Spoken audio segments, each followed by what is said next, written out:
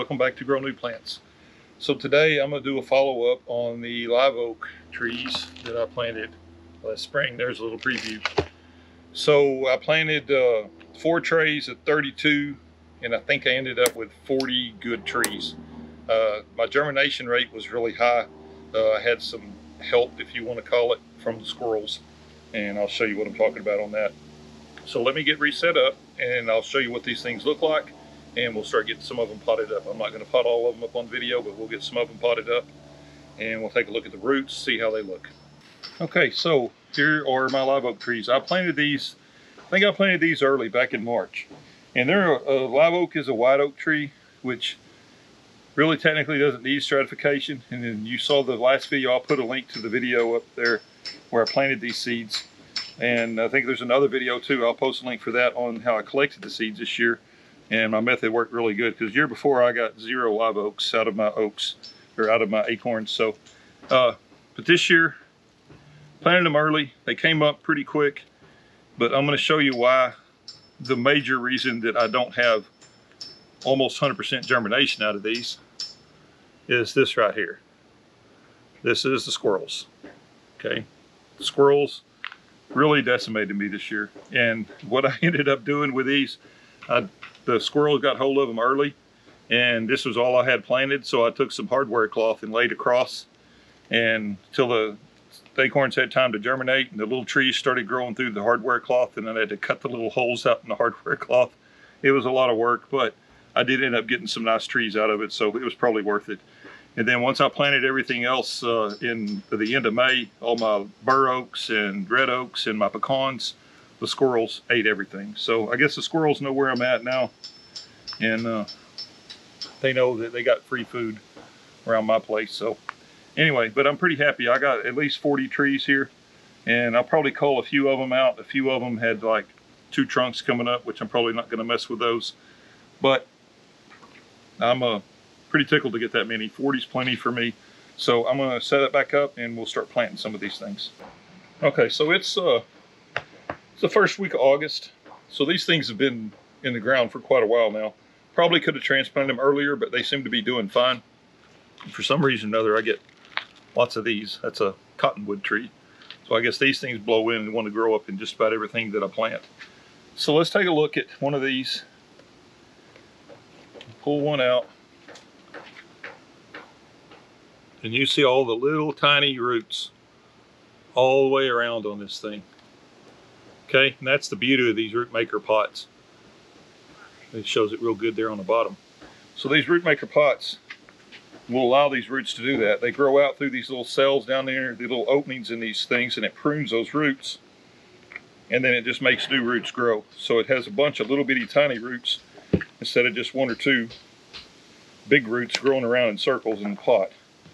And so when I plant these things in here, give these things a week or two, and these roots that are that you saw that just now in that little clip there, they'll all start growing out into the dirt and feeding and watering and everything else for the plant. So I'm going to take a handful of these. See that one, you see it's got a taproot that came in there, and then when it grew to the end, it cut it, and then it started branching out. You can see that taproot right there. Sorry, see that taproot right there? So when they get to the end, cut it out or cut the end of it, and then it started making all these other little fine roots. So again, you don't want that big taproot staying in there because it's not going to feed the plant. When you transplant, it's not going to feed the plant. If you if it grows natural in in the in the earth, you know, from the time that it germinates up, that taproot's absolutely fine. But for container grown plants, it's not really a good thing to have that big huge taproot on there. So that's it, man. We're just planting these things up.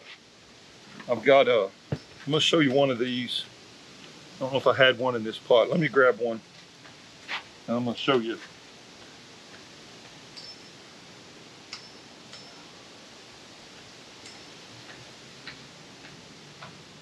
Okay, here's one right here.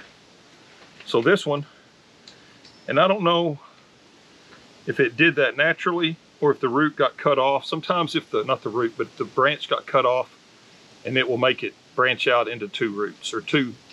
And I tell you what, I'm gonna go ahead just for grins, I'm gonna go ahead and plant that one and let it be a multi-trunk tree. Typically I won't, I know I've got a couple other ones Uh, I'm going to plant one of them and just kind of see how it does. Some people like the, the multi-trunk trees, but in general, that's not a desirable trait to have on them. And what happens a lot of times, like I know I had that happen last year with my bur oaks, the squirrels would get in there and they would bite the top of the tree off trying to get to the acorn. And uh, that that trunk would branch off so you'd have two trunks coming up from that point on. So anyway, so I think I said before, I've got about 40 of these. So I'm gonna plant them all up. I may cull some if some of them don't look too great. I may cull a few of them, but I'm gonna plant the majority of these 40 up and let them grow. And I mean, the way they're growing, these are probably, I would, I would guess I might get these up to two feet probably this year. Wouldn't surprise me at all. We'll take a look at the roots one more time. See all those just little tiny roots all the way around there. Holds the soil together good. Got a few weeds in there, but I can dig those out later. So I'll tell you what I'm gonna do. I'm gonna finish planting this one and then I'll fast forward, do a time lapse and plant a handful more of them and then I'll plant the rest of them off camera. But So I'm gonna do a time lapse, plant a few more of them and then we'll come back and take a look at what they look like all planted up.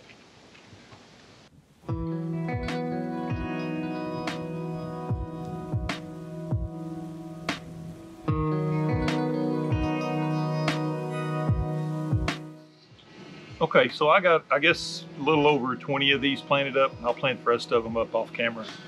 So they're super nice, man. They're probably, the biggest ones are over 12 inches, shortest ones are maybe six to eight inches, something like that.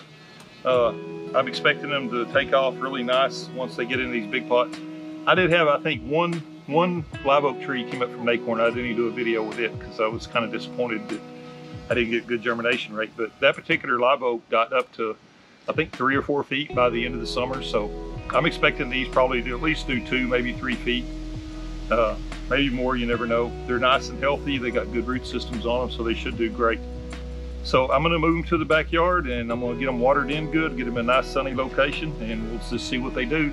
And then I'll do another follow up on them, uh, probably towards the end of the summer, see what they end up looking like then and maybe some of them will even be ready to transplant up into maybe three gallon Rootmaker pots. So anyway, I appreciate you watching. Please like, please subscribe, please share my videos. Thank you.